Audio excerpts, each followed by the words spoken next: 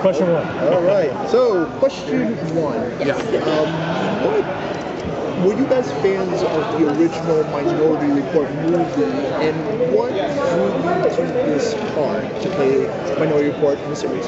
And what do you? What drew What drew you What to drew you play to the the part? part? Yeah, Okay. the part to play Minority. Daniel was already in the original. Yeah. No, you Yeah, I, wa- I was in the you movie, so I'm, I'm playing right, the yeah. same character. So for me, I, I love the I love the movie. I love the experience of making the movie.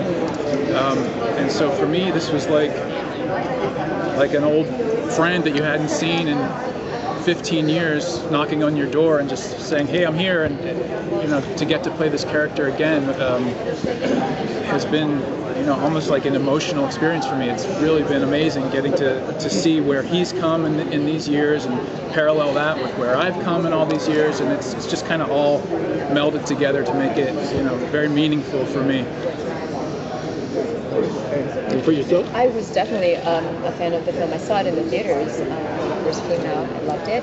Um, and then I, when I first became involved with the project, I went back and rewatched it. And then I watched it again two weeks ago because I think a friend of mine hadn't seen it, and I made her watch it.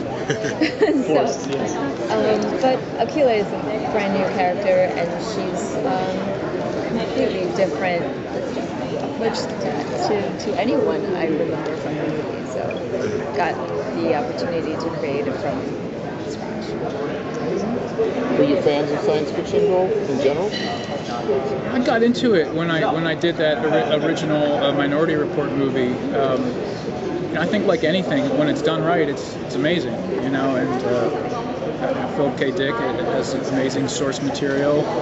Um, it's really an exciting exciting world to enter into. Um, at the core, you know, it's about characters, it's about relationships. For me, that's what, as an actor, gets me into a project. But um, the world of it adds a, a, another layer for sure as well.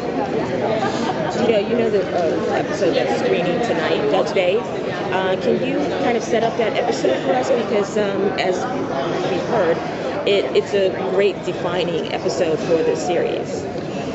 Yeah, I mean, it- 105, episode five. episode 5, yeah. Yeah, yeah. I think uh, the director of that episode, David Straiton, had had really looked at the movie closely and, and was trying to kind of emulate uh, certain camera angles and certain ways that it was shot. And so I think in that regard, um, that that episode is going to stand out in a really cool way. Um, but then also, you know, we see the, the, the Dash and Arthur relationship really kind of come together in this episode. A very deep part of Vega's past. Right. To see to surface. Yeah, there's a lot of deep stuff happening. You'll see. It's it's, it's going to be exciting, I think. And it kind of does. It sort of opens the path for the rest of, of, of these of this 10 episode block. They said Uh, it's going to move towards more character development. So this is where we get the world has been set up, and now we get to meet the characters. Yeah, yeah. It kind of gets in up close and deep and, and Personal.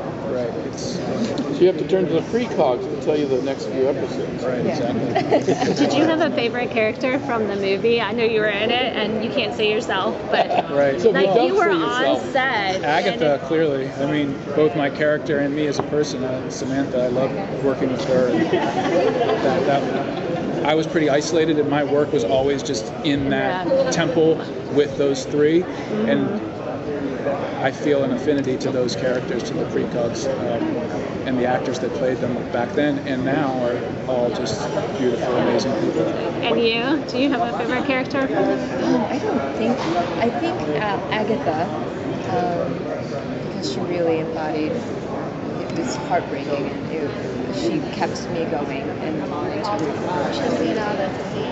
Can you Very ta- cool. talk about working with Steven Spielberg? Sorry? Oh, The experience of Spielberg. Obviously, it's great to have all the directors, but that's Oh, it was thrilling. You know, I think any actor would be so excited to get to work with him, and he was just as impressive as as you might think. I mean, he walks into a room and you just feel this like buzzing energy around him. Um, and he has the one thing that impressed me about Steven and Tom Cruise is just um, the joy that they felt making movies still. I mean, that was 10 years ago, but they had been making movies obviously for decades, and both of them just had this like childlike enthusiasm and, and love for it. Um, so that was pretty cool to see because as a young actor starting out at that point, it, it was inspiring. And you know, I have a question for you. Uh, we asked this question to Meagan Good about minorities in television shows. Um, how does it feel to be an Asian American, be able, a strong Asian American woman in a sci-fi show just like this? Um, nothing bad, everything great. I'm so grateful, so honored to be a part of um, such an epic film, a sequel to a film. So that alone is great. Um, it has been, excuse me, it had been very difficult to break that barrier for a long time. For the first few years that I was in the industry, I wasn't even being seen because everything wasn't looking for um, any other ethnicities. So um, for for it to be where we are at this level is quite a movement, and I really hope it continues to grow. You guys talk about a little bit of the chemistry on set then too. Are you all getting along? Is it uh, exactly what you had expected from it? We love each other. I mean, it's kind of ridiculous. It's we, Yeah. we just became fast friends, and I think Yeah. we're all really different. We come from different backgrounds, and and yet like we just bonded immediately. Yeah, we love each other. We really support each other. It's, it's pure. We look forward to working with each other every day. So when we get bummed out when we're not working, It's true, yeah. we get left out. Yeah, it's fun. You know, and being in Vancouver, it's like we're kind of isolated. Oh, yeah. We're kind of isolated, and so we've had each other sort of there as like a family away from home, which is There nice. are a lot of sets in Canada yeah, now see, in that bonding other area. people, like Arrow, You see people, you see like old friends working on other Yeah. shows. It's kind of cool. It's it's, it's weird, but it's it's nice. There's one hotel where like all the actors Oh, I know the hotel. Yeah, What's it? yeah. Uh, the Sutton- park? Sutton the Place. Sutton Place. Yeah, That's it. I stayed at that one. Right, too. right. Yeah. For, for a show. You sit, you just sit in the Yeah. lobby. Everybody, you enough wouldn't to believe go you in run into it. Exactly. And the rest, there's a few restaurants down the street. Do you have a favorite restaurant?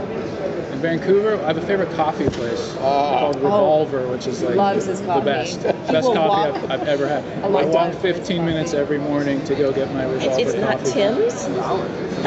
Are you kidding me? Tim Horton, come on. I'm a, I'm a coffee snob. Sorry, I can't. Revolver. Oh, It takes like five minutes for them to make each Yeah, cup of coffee. They're There's an amazing restaurant right down from the Sutton place that uh, everybody seems to go to that I cannot think of the name of it. I, There's a lot of good. What, a coffee a lot of good No, food there. restaurant, Oh, restaurant. restaurant. Like really one of the fancy chef restaurants. Oh, Hawk, Hawksworth. That's a good I'll one. think of it later. That's really You good. guys There's leave. some great ones. Um, can you talk about uh, the visual effects? You've got some really amazing visual effects in the show, and you guys have to deal with a lot of it Yes. um, for television. Can, can you talk about that? one of the biggest challenges is the, the coordination of my lines and the beep beep bop beep part because um, it's sort of what I always say it's sort of like doing dance choreography and singing with no rehearsal so I have the lines down we get to set and then I get some direction as to what to press and what to turn at what line and it's you know it becomes a game of this it's, that's that's fun. But when it all comes together, it's so incredible. Limestone, I see. I wasn't touching anything at that Right. point, and then all these great things come up on the screen. I'm like, oh, You're me, Fee, right? who, who knew that that class in mime would yeah, come in you do, handy? you Exactly. do this, and then it's like, oh yeah, minority. Yeah. did you guys ever read any Phil Dick? I did. You know, back when I got cast in the in the in the movie, I I had read "Do Androids Dream of Electric Sheep" in college, in a cool literary theory class, and then um, you know dipped back in.